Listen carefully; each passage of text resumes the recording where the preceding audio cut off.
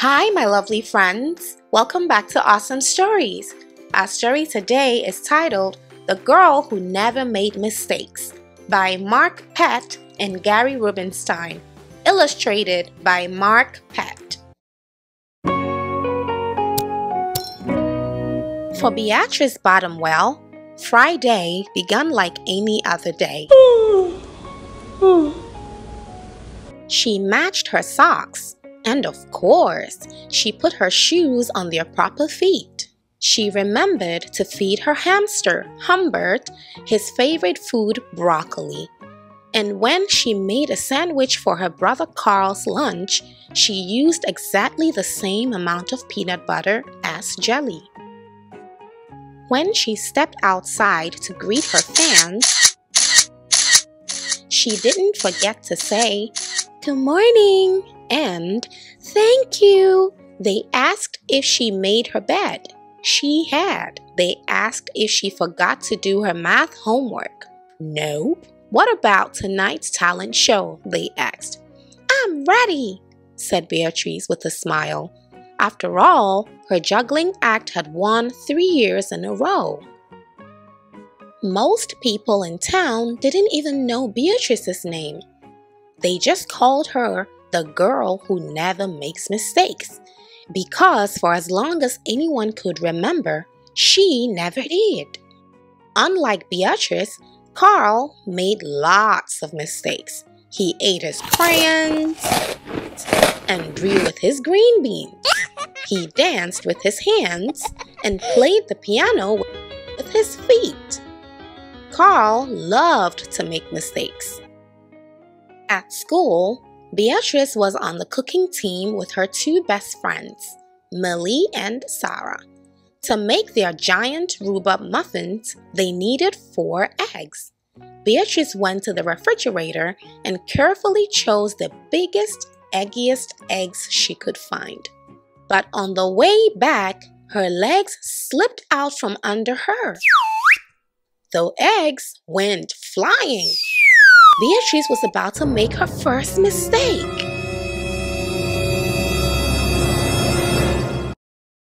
But she didn't. That was close, thought Beatrice. Sorry, Beatrice, I dropped a piece of rhubarb. I mention it, Millie. For the rest of the school day, Beatrice could not stop thinking about her almost mistake. On her way home from school, Beatrice watched Millie and Sarah ice skating in the park. Come join us, said Millie. It's fun, said Sarah.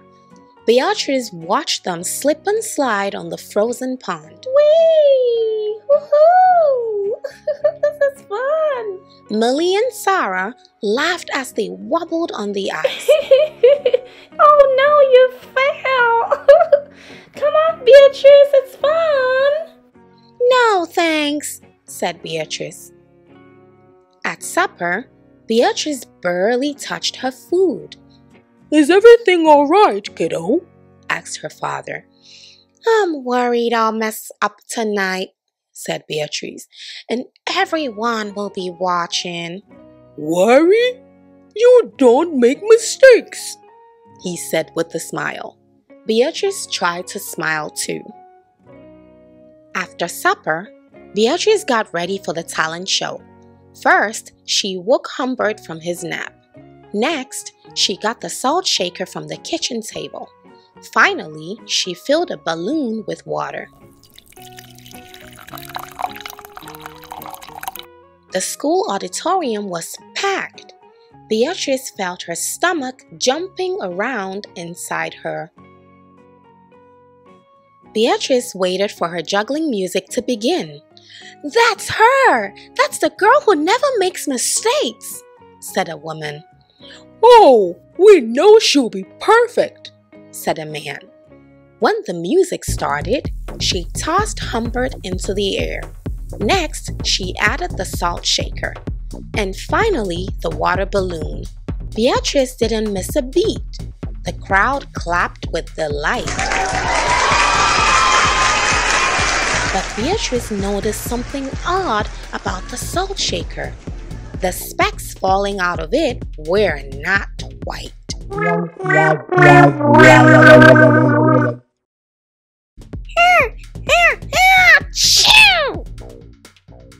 Humbert was so surprised by his sneeze that he grabbed the water balloon with his claws. Shh!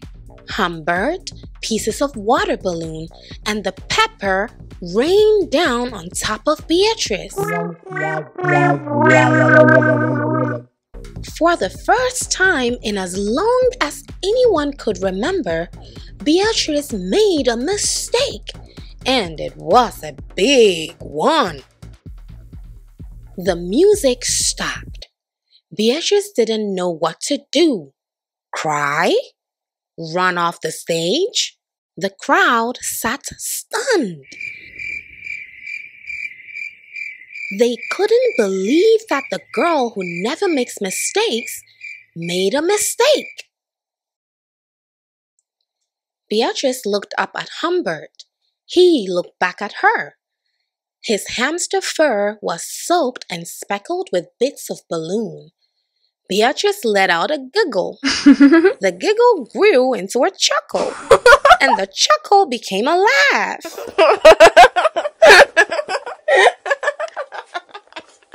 the people in the crowd looked at each other and then back at Beatrice.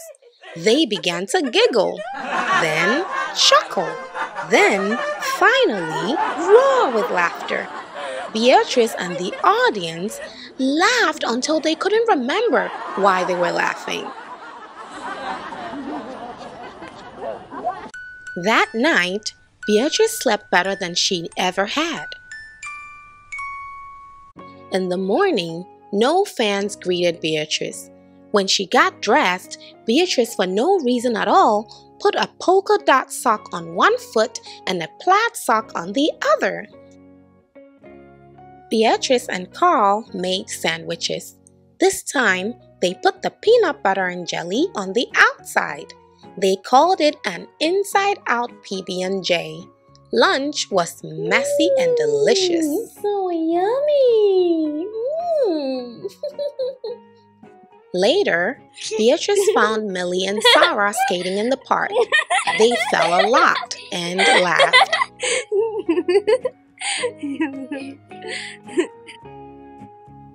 Now, people no longer call her the girl who never makes mistakes. They just call her Beatrice. The end. Hi, friends. I hope you enjoyed our story today.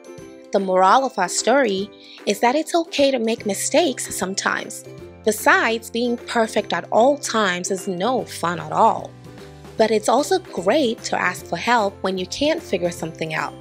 Well, if you loved reading with me today, then don't forget to like, share, and subscribe, and hit the notification bell so that you're updated every time I load a video.